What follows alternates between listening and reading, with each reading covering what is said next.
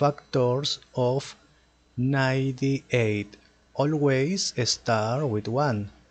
98 divided by 1 is 98. Next is 2. 98 divided by 2 is 49. Next is 3, but 98 cannot be divided by 3.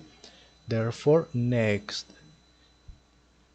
98 cannot be divided by 4, cannot be divided by 5, cannot be divided by 6, but can be divided by 7.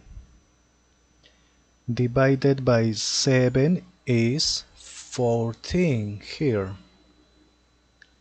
Next is 8, but cannot be divided by 8, cannot be divided by 9, 10, 11, 12, 13, but 98 can be divided by 14, 14 here, therefore finish. Factors of 98.